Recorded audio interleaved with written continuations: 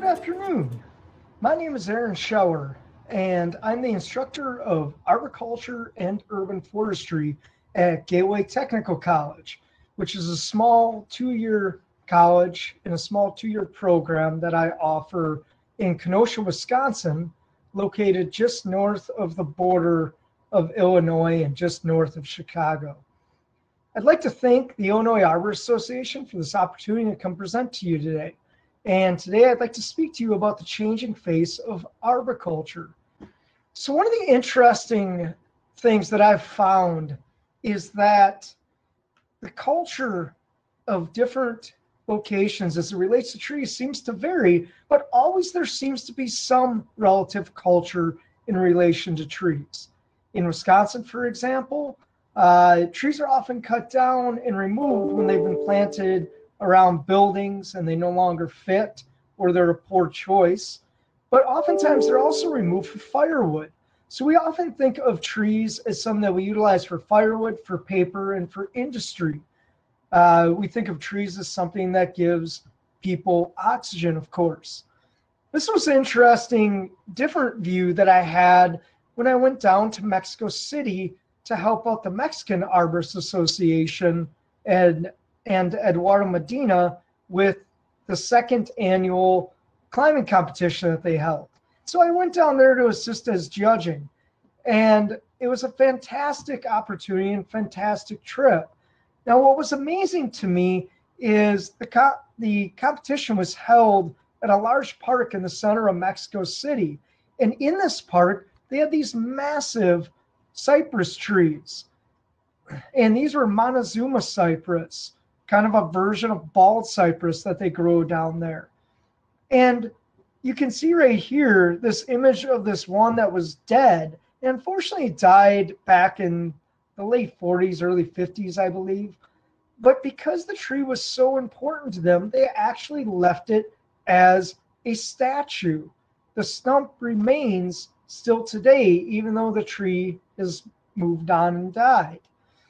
Now, these trees were very important to them because they were planted by the Aztecs. Believe it or not, these trees uh, are reported to be about 500 years old. This one especially would have been, and you can just tell based on the size how old it must have been.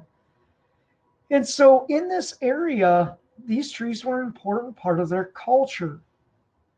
Now, as we've gone through history, trees, as we'll look at here shortly, have been an important part of culture as well.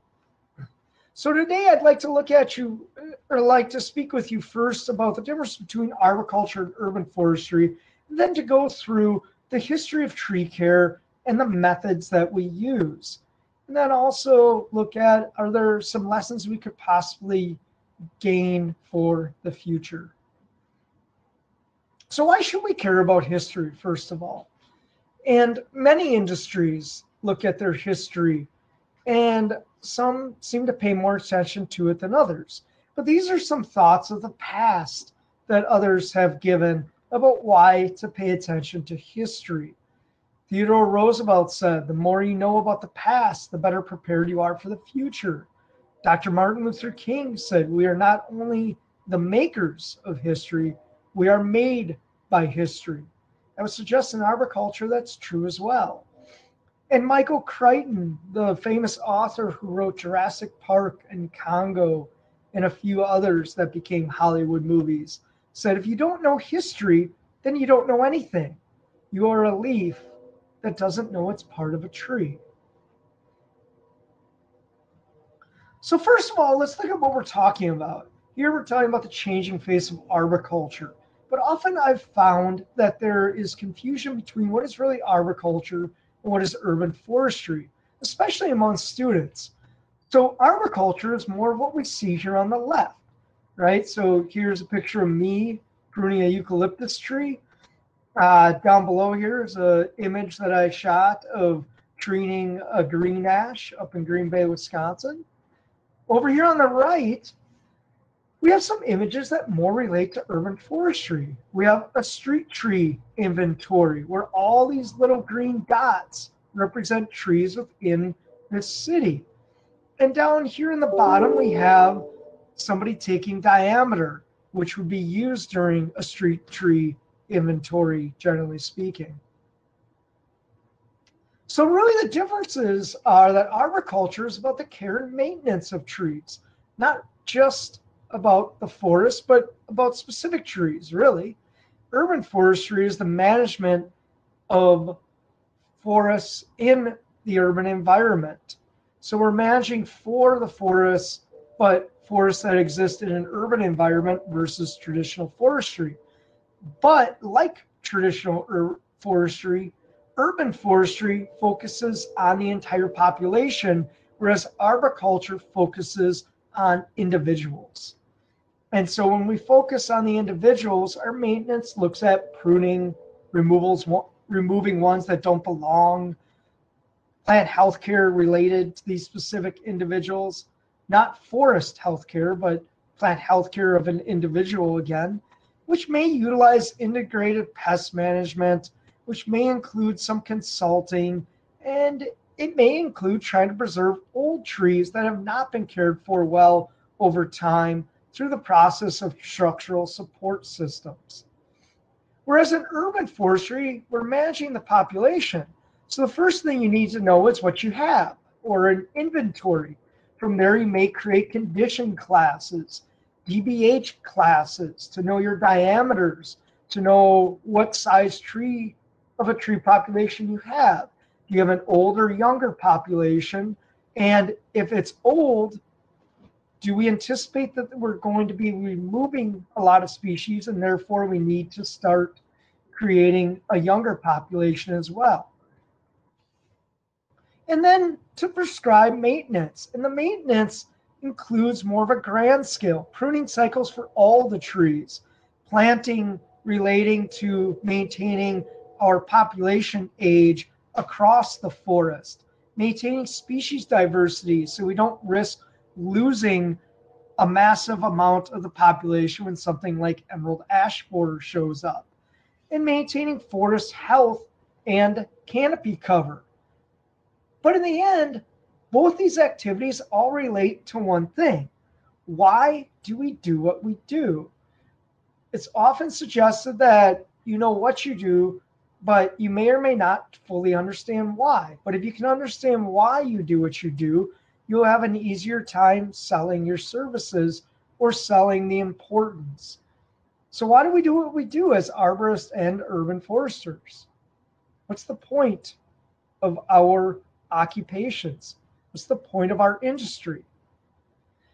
Well, I would suggest that where forests are managed to harvest wood products, we manage our urban forest for the benefits of trees to people. And so, in the end, it's all about people, right? And the most important, of course, is health, specifically mental health and lowering stress, emotional health that comes from seeing greenery around us. As a result of this first one, we have lower crime rates that generally also form in areas with high canopy cover. We have other important benefits such as noise reduction, property value increasement and enhancement, a reduction of electricity bills, wildlife habitat. We can help integrate where the sides of streets are, direct where people or traffic flows through the placement of trees and vegetation. And of course, stormwater reduction. As rainwater infiltrates and hits the canopy of trees, it slows its progress through the ground, thereby reducing the amount of flow that ends up in our lakes and streams through stormwater. So, huge ecological benefit from that perspective. And then also, of course, moderating the climate, which is the result of reducing temperatures. Hence, we all know that where we have lots of pavements, such as downtowns, we have very high temperatures associated with those areas. But as we move out to suburbs and even forested areas, our temperatures are reduced dramatically because trees not only uh, block sunlight from hitting the pavements, but they actually absorb that sunlight. Whereas pavement radiates all that heat right back up into the atmosphere. And aside from just absorbing the sunlight, trees also release water through the process of photosynthesizing. which creates kind of an air conditioning in the area, right? Because water has uh, high specific heat, it takes a lot of energy to actually increase the temperature of water. So therefore, releasing water cools the surrounding environment. And they can also reduce wind speed and, of course, improve air quality. However, when I ask a group of high school students, what are the benefits of trees? The number one thing I get is, well, we get oxygen from them. Um, the truth of the matter is, in an urban environment, because there's so much pollution, they probably provide some benefit. But most of our oxygen comes from tropical forests or even the ocean. Uh, we get some from temperate forests, but the amount that truly comes from an urban environment relative to surrounding forests is relatively small. If you look at a map that shows the canopy cover of urban environments to forest cover, it's a pretty small portion in the end. But all these other things are huge value that we gain from trees. So why how did this all come about? Well, in this presentation, I look at predominantly three different textbooks.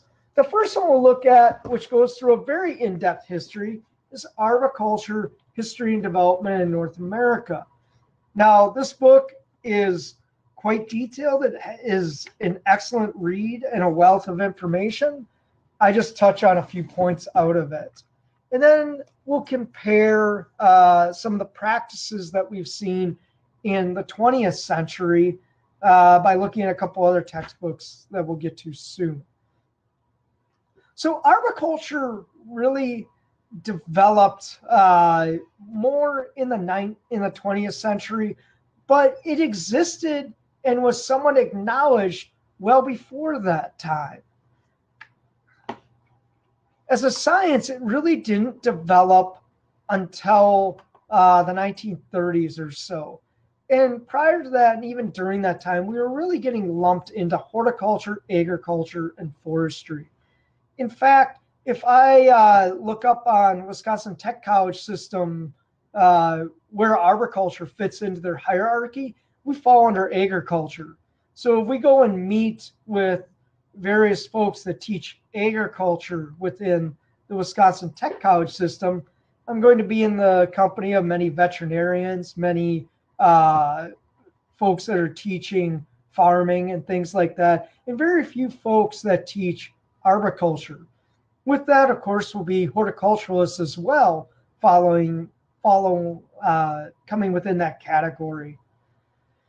And if you look at the USDA, we may fall under forestry or we may fall under agriculture. And in many cases, in many collegiate programs, this arboriculture would be taught within a horticulture program. So we kind of get lumped into all these areas.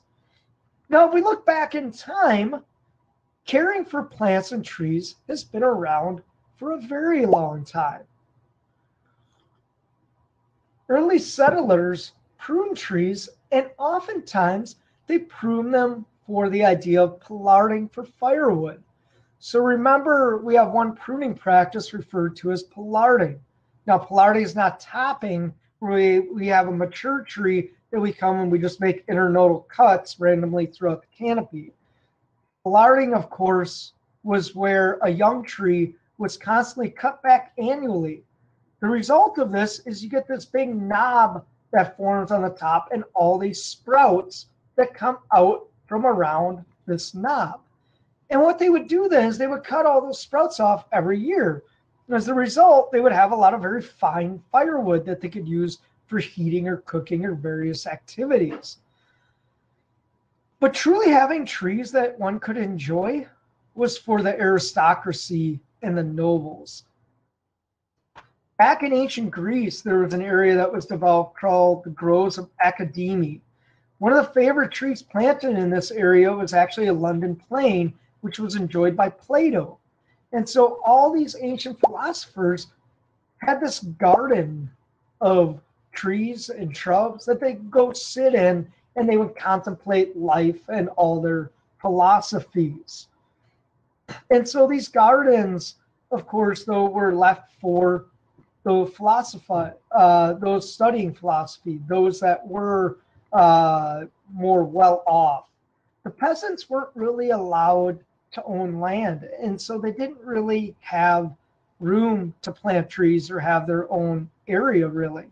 And even if you go over to England today, many of these areas where there were castles are still prominent and full of uh, vegetation that was planted by the nobles back in the day.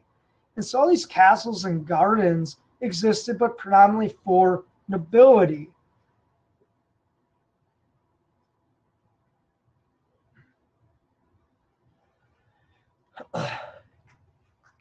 The nobility did appreciate their gardens and their areas of tree planting and tree growth.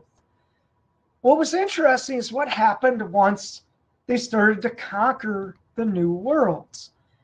With the conquering came this idea more of amenity forestry and of creating arboretums or areas of planting of appreciation of trees that grew elsewhere. And it was sort of a symbol of status that you had trees from other areas from conquerings or from uh, exhibitions. And as they started to sail and walk through the new world, they found many different trees. One of the interesting stories of this time is the story of the Wellingtonia. So Wellingtonia is a name for giant sequoia in Britain. The British actually call a giant sequoia a Wellingtonia. And in fact, they initially tried to steal the naming rights of giant sequoia back in the 1850s. And one of uh, the prominent botanists from England actually took seeds back and tried to name this tree amongst the Royal Academy prior to it being named in the Americas. And he called it a Wellingtonia gigantea, and basically in reference to the Duke of Wellington, who had passed away in 1852. Now, after a lot of fighting and arguing, it was finally accepted amongst the scientific community that the tree have its traditional name, Sequoiadendron giganteum. But it took some years of debate to reclassify this. What's interesting, if we look, and this is from uh, Art Gallery in England, Compton Verney Art Gallery, here you see some Wellingtonia trees planted. And of course, we would call them giant sequoias. When I lived in New Zealand for a while, um, there was actually many giant sequoias and redwoods planted over there as well. And they would have been planted in the early 1900s or 1800s there was one that I climbed there that was 180 feet tall and about four or five foot diameter. These trees over in New Zealand are actually growing faster in some cases than they are in their native lands in California. And so it's amazing what happens as we started to bring these species to other locations.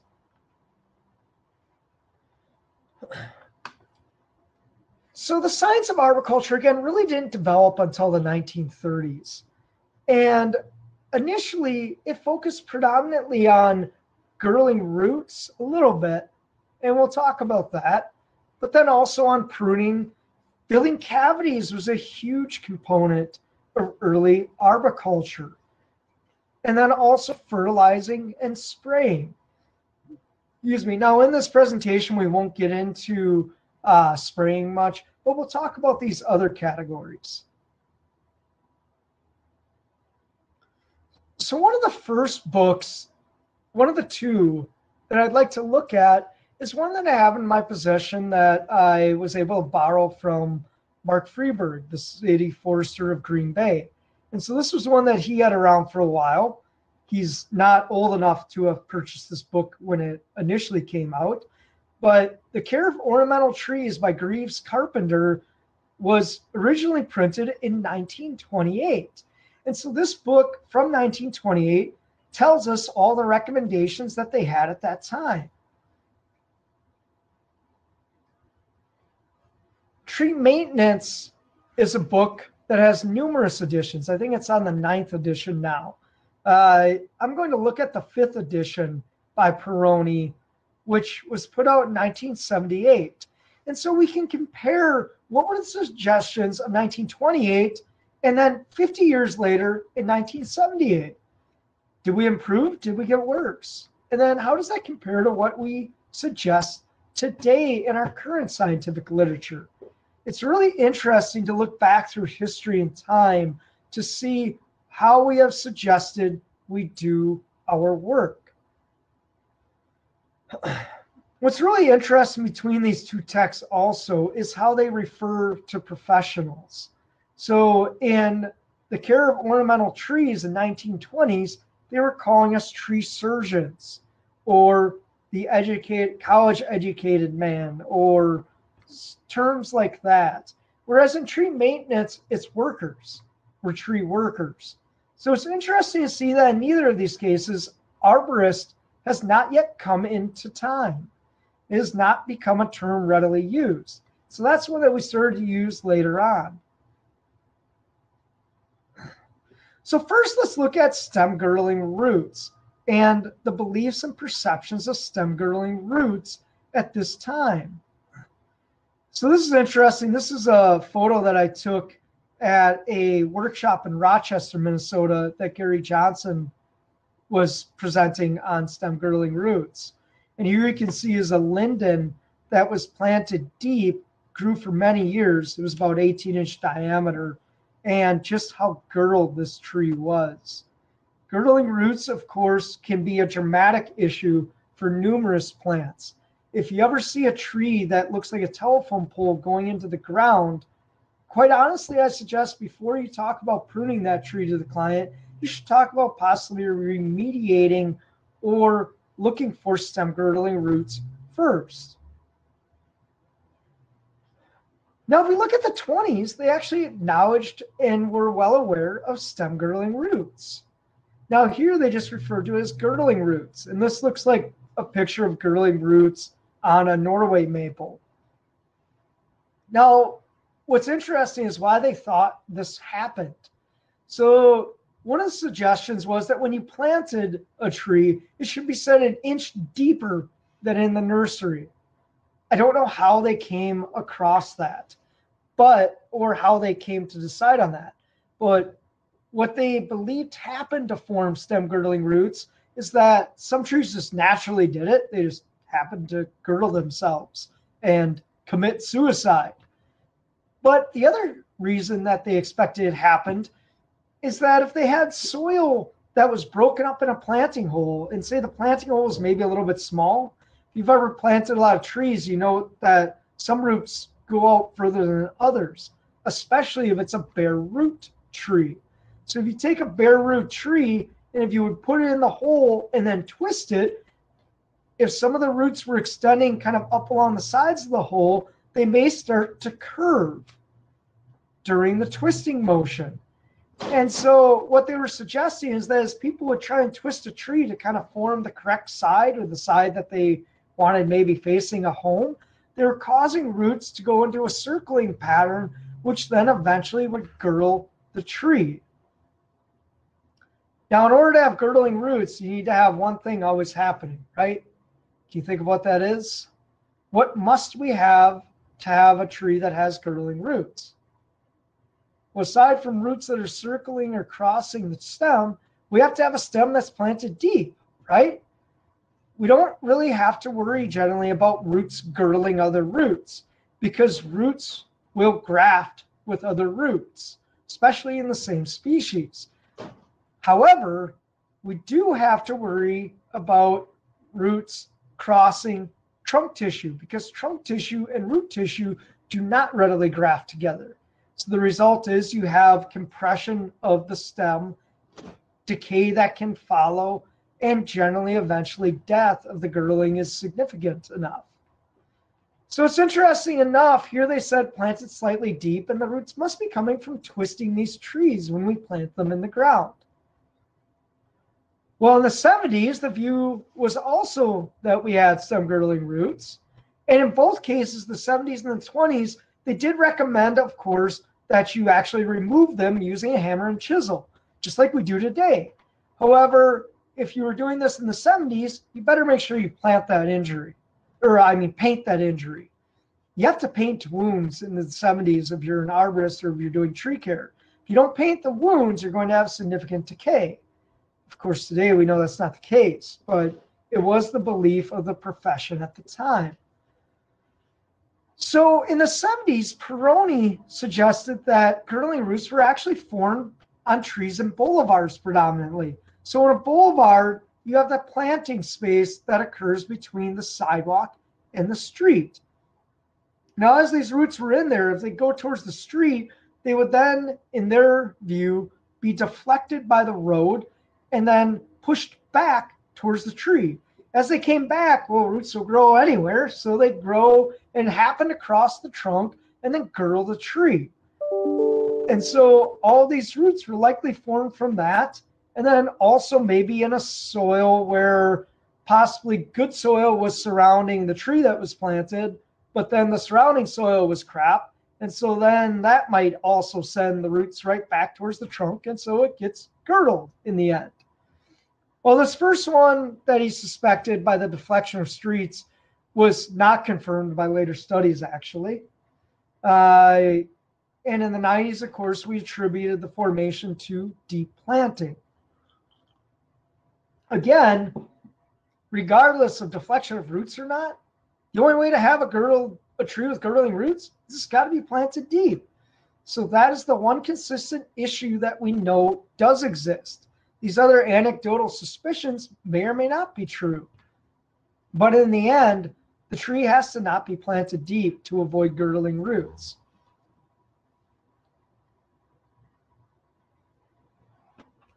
So in the 70s, what's interesting is Pirone did note that container grown trees were more likely to form girdling roots. So there was some connection being placed now between the nursery practices and the formation of girdling roots in the uh, landscape.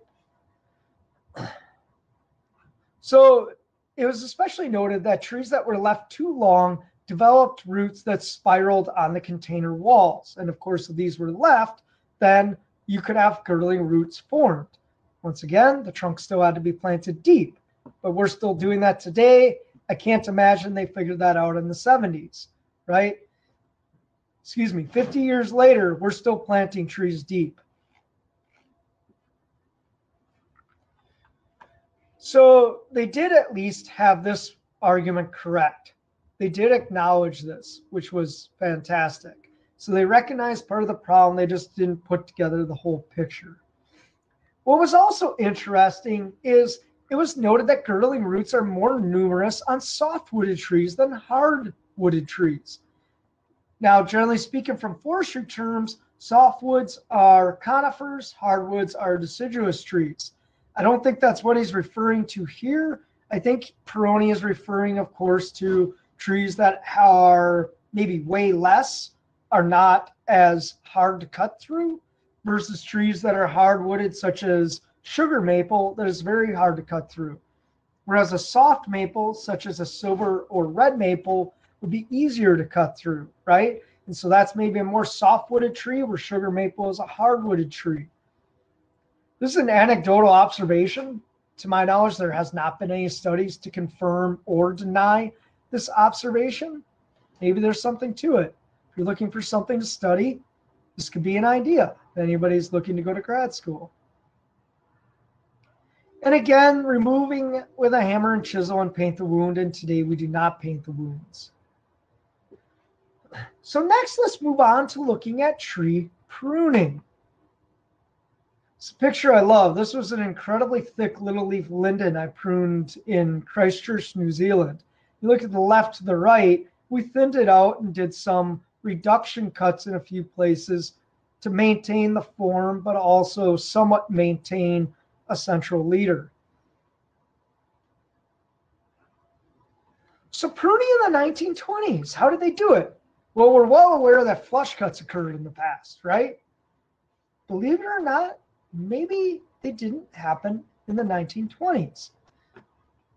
So they recognized one, that cavities occur in trees, and they recognized, they suggested that it was due to neglect and oftentimes by incorrect pruning. Pruning done by cheap, inefficient, unskilled labor. And so if you had just random people or homeowners pruning their trees and somebody that was just merely capable of handling a saw, you're likely going to get cavities in your trees. Man, that's fantastic, isn't it? They were aware in the 20s that cavity formation was due to improper uh, practices. They also recognized, which I really like, and this is something that in some places we still fight today. You shouldn't use spurs or climbing spikes to assist in pruning because you're injuring the tree. Now, it doesn't take a rocket scientist, a brain surgeon, or someone with a PhD to recognize that when you stick a spike into a tree, you're probably causing an injury. But yet, we still find unskilled laborers today who require spikes to prune a tree when climbing. Again, something that we most definitely should not do, and something that can cause significant harm, decay, and oftentimes disease to infest the tree. So it's really neat that this was recognized and pointed out right in the 20s already.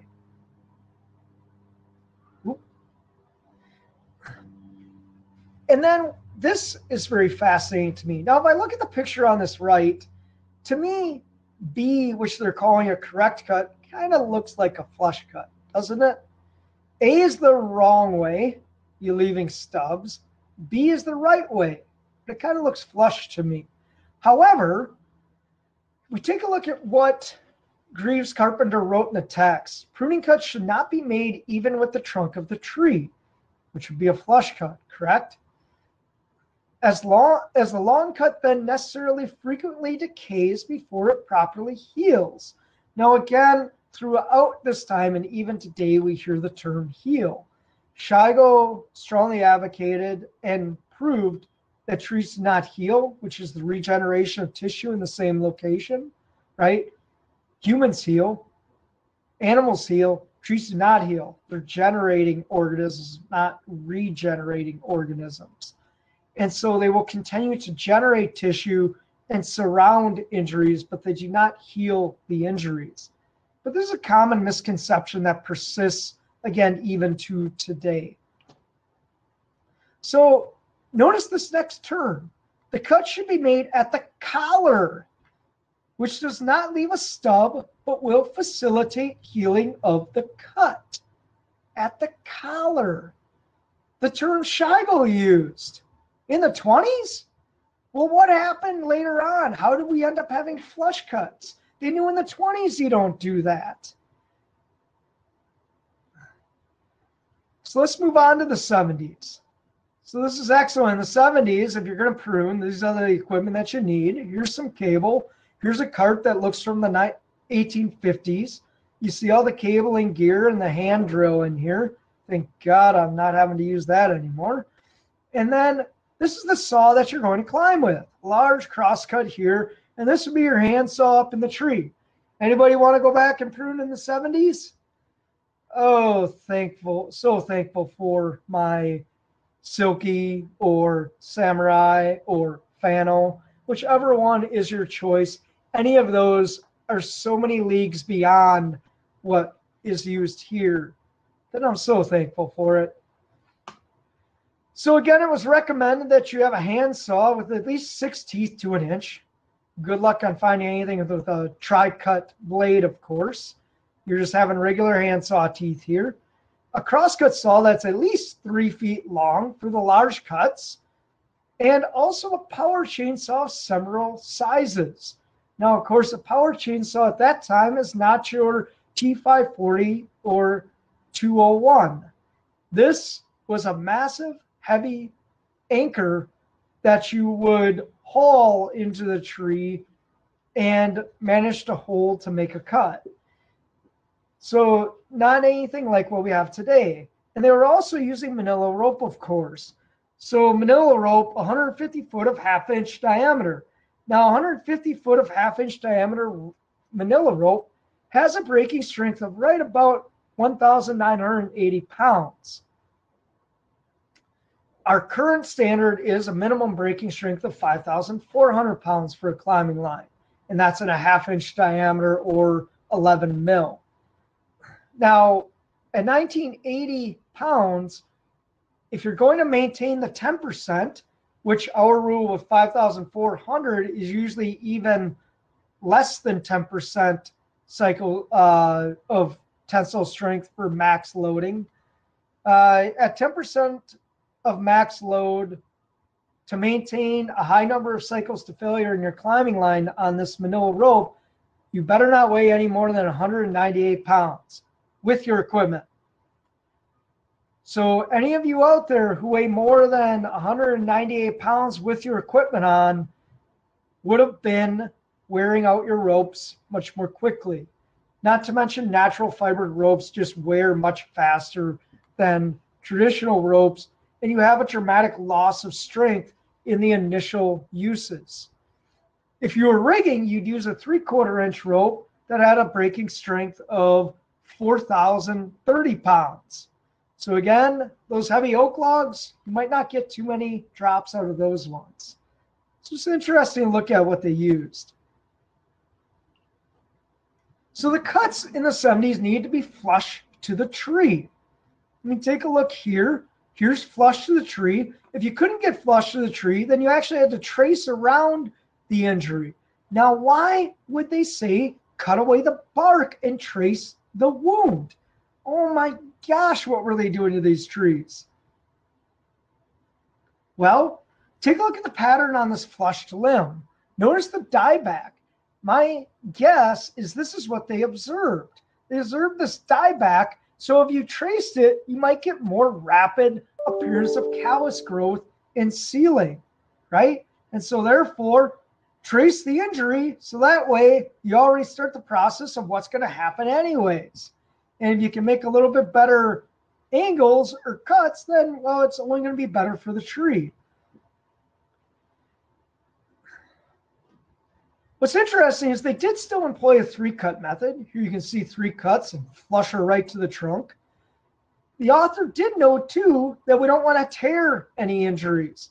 So as you're cutting, rig this stub off or make sure you can hold it so that way we don't tear because we need to have a nice flush cut. But if we tear, it's going to injure the tree dramatically. So we don't want to do that. A trained arbor or trained tree worker will not tear into the tree. So that's something I fully agree with. We don't want to tear trees. Unfortunately, again, though, we're on this idea of flush cuts. We went from collar cuts to flush cuts until Shigo came along. And here's just an example again of why we want to avoid flush cuts. such as this one on the upper left.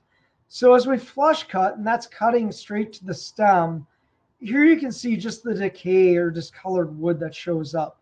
Everything discolors in this area now except for the new growth, and you have the formation of a barrier zone. And so all this center is like to decay over time. So today, of course, we promote pruning collar cuts, just like in the 20s. So a three cut method. Now, a slight variation there in Gilman's book, he actually suggests a cut one underneath and a cut two that's a match cut on top versus in front. Uh, either way, honestly works. If you cut underneath and you match cut on top, sometimes you can, in some species, especially in spring, get the peeling of bark actually past your bypass and down the side of the tree, especially with elm in spring, if you're pruning it before the, the uh, deadlines.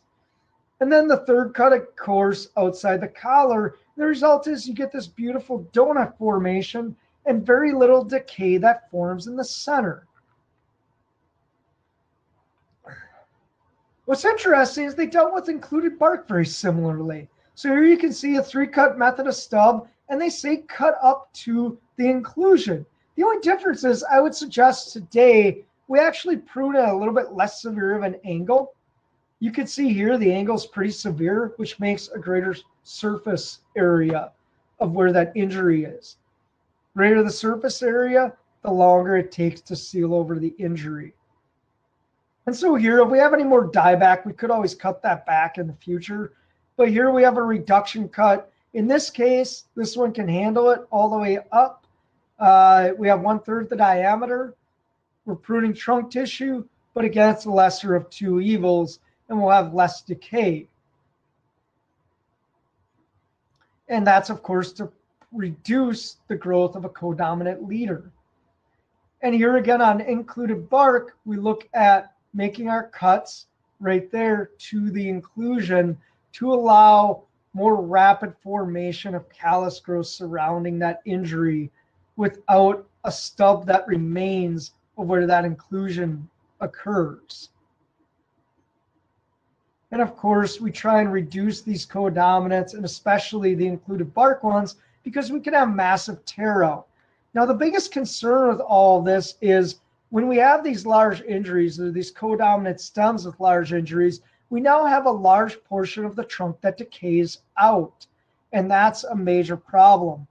One of the biggest ways to really prevent decay and pruning is just don't make large pruning cuts. That's our biggest concern. We'll talk about that more in a second. So here, of course, they suggested that you treat the wounds. And treatment of the wounds was by painting. So any cuts were supposed to be painted in the trees. You can find images actually of pruning in the 70s where they had a pole saw with a saw on one end and a paintbrush on the back end. So they could dip it and on the back side where they made the cut, go out and paint the wound. Oh, that would be tedious work. I'm so glad we're past that. I can't imagine having to bring paint with me for every cut I make in a tree. And I didn't prune back then. I presume they painted every cut, but maybe they only painted large ones. I'm not positive, to be honest but you had to use shellac, uh, blacktop seal, uh, grafting wax, paint. Any of that was used. It was looked at as the bark acts like the epidermis of a tree, just as there's skin on a human. Once it's broken, you can have infection. And so the suggestion was if you painted it and you inspect it regularly and recoat, you can prevent these infections. Now, is there anything to this? And I'm often asked this. Well, one of the problems is sealants wear off in natural conditions. And fungicide treatments may initially be effective, but again, if you're not going to retreat that regularly, like every few months or something, these fungicides wear off. And they can maybe be present for up to 157 days following treatment, but are you going to come out then and continue to treat that year after year on all the cuts you make. So if you have one large cut, maybe it's something you could try. Or if you have one large injury that forms on a tree, but your best decay prevention is honestly smaller injuries. If we create small injuries, reducing the time it takes the tree to seal over the injury, then as it seals over, it creates anoxic conditions within the tree. Because remember, on those injuries, those tissues related to that injury are sealed off from the rest of the tree. So once the tree seals over those injuries, oxygen no longer penetrates, and aerobic organisms such as fungi then are no longer able to actively grow and break down tissues. One of the suggestions is to even avoid removal where heartwood is visible. You're more likely to not have decay occurring then. So what you don't want is this. This is a tree in my front yard, a silver maple that had a large injury to it in the past. It's kind of fun as I have a little mountain ash growing there. And one of the reasons is these codominant stems. So you see a codominant on the left or lateral branch on the right. What I did to create this in our lab, we actually draw food coloring through branch tissues and trunk tissue. And so what you see is actually the coloration of the actual tissues of the tree. And where you see red here, those are tissues where of this branch was removed, these tissues are directly connected to that limb. Recall branch and trunk tissues are not actually connected. They grow around each other. So if you cut off a limb, the tissues relating to that limb are done. They will decay, potentially or they need to be sealed off before decay occurs. So as we remove this codominant or that codominant were to fail, one third of this tree will decay out and possibly never even have a chance to completely seal. But on this lateral branch, it's maybe one eighth of the tree, not a big deal. So this is why we want to prevent codominance. We want to reduce the decay then that results.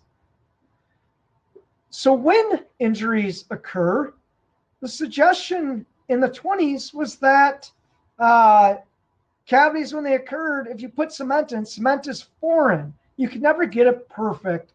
And so even with proper pruning, decay will set in. They suggest unless you paint it every year or two. So they recognize that if you're going to paint, you got to paint regularly. Um, but really, what they recognized is that we don't necessarily, we can put cement in, but there's no possible way for a union between cement and the wood of the tree. So initially, cement was put in solid blocks. They found that it couldn't withstand it. Over time, in the 70s, what they did to fix this is they scraped out any decayed wood and they started layering their cement. They would layer their cement in six inch segments as they went up. Then once they put it in, they'd bolt it to the tree so that the two couldn't move separate. So since there was no normal union that form, they forced a union. Decay wasn't really understood well at this time. In the 20s, they recognized cement really didn't work well. In the 70s, it almost became an art form in both cases, there was still misunderstanding that occurred because unfortunately, cement cannot sway with the tree. And so you formed a very rigid base in this case. Fertilization was an interesting idea. So it was recognized that different formulations would help, but in the 20s, they recognized that you really should use more organic forms because if you constantly put down inorganic forms, you actually produce salt over time in the soil.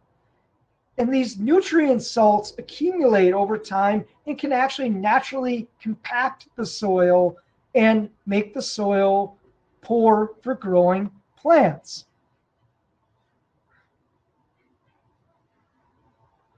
What was also interesting is they suggested that you do not apply fertilizer to the top of the soil because if you apply it here, it draws up the fine roots into an area where they're more likely to dry out. Interesting observation. Or they may be burned by chemicals. And so they suggested that you put the fertilizer down in an area in the soil where the roots were.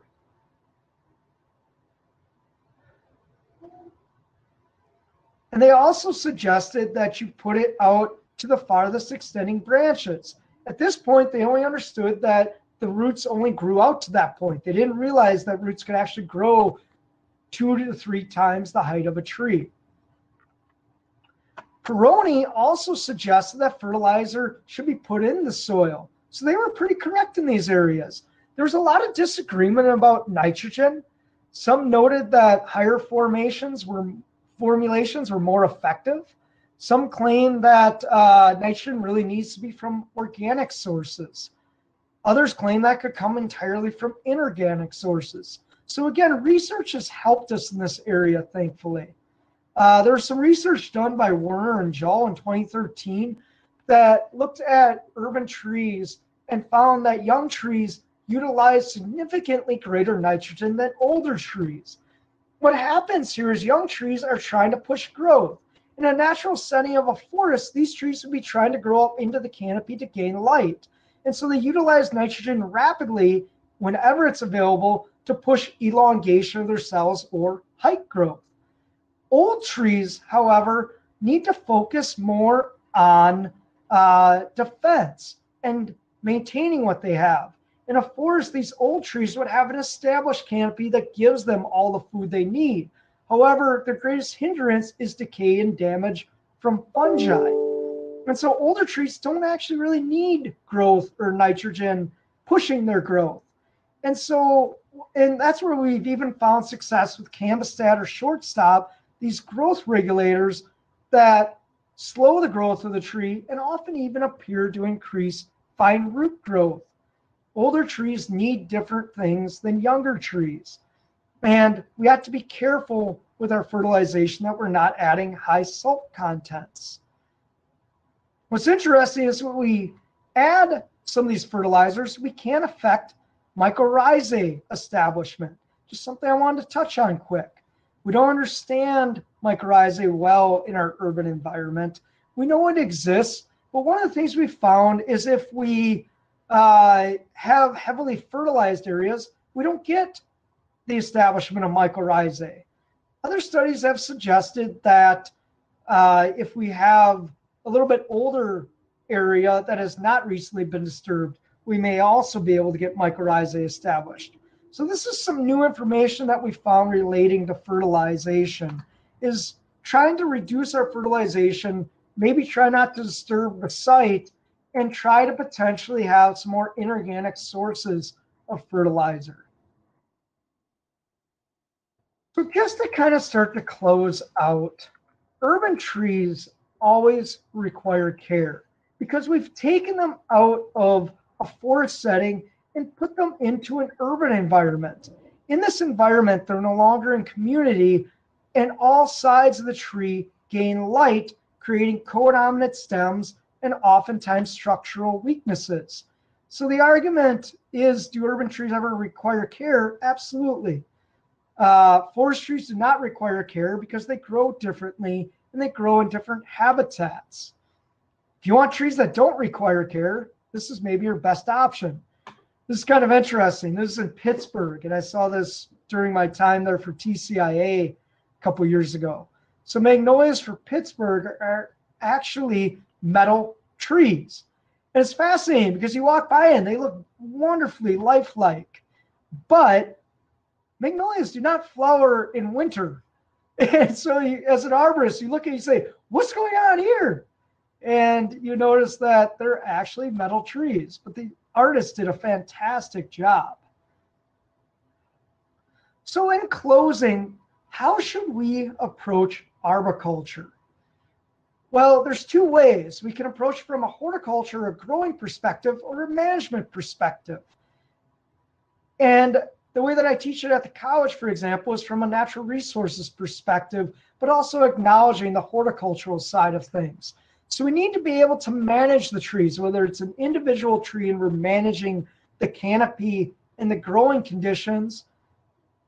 But we also need to understand the proper conditions for successful growth of trees. A way to meld these philosophies, I think, is to pay attention to forests, which is more of the natural resources side of it. Understanding how do we manage trees in forests? How do we, where do trees grow? Where do they fit within succession within forests or the orderly change of landscapes from fields to forests? So as landscapes change from a field, certain species will move in and pioneer these sites. These species moving in and pioneering these sites are well adapted to disturbance. These are often ones that we find being the best urban trees. Trees that grow in later succession climax forests or old growth forests are ones that do not handle disturbance well. A great example of this is sugar maple. How does sugar maple do in a heavily urbanized area? Well, if you ever find it, they often do very poor. However, if you have an established site, it could do very well. In our forests, especially in northern Wisconsin, it's the predominant species growing because it handles shade very well and it outcompetes other trees well. However, trees such as river birch or silver maple that grow in river bottoms are very accustomed to disturbance bur oak as well. And so these trees seem to do very well in an urban environment. So knowing the history of trees and of various species can really help you understand right site, right location. You look at this forest of sugar maple, that's the soil we would expect to see in that environment. Some duff or litter, followed by some organic area, very low bulk density, not compacted. That's where these trees thrive. What does your area look like? And so understanding where these trees grow and where they survive plays a crucial role in establishing them successfully. And last but not least is understanding how to be a profession. They even dealt with this back in the 20s. And I'll give you a chance to read this very briefly, but also I'd be happy to share this PowerPoint with anyone. Uh, and I have my email at the end. And last but not least, Alex Shigo said, Don't tell me what you are going to do, tell me what you have done. And one of my suggestions to everyone is become involved in your organization, become involved in Illinois Arbor Association. You start getting involved, you start meeting many people, you start growing yourself in this profession much more quickly than if you remain on your own. And so be involved, be part of the organization, grow well, grow strong, and prosper.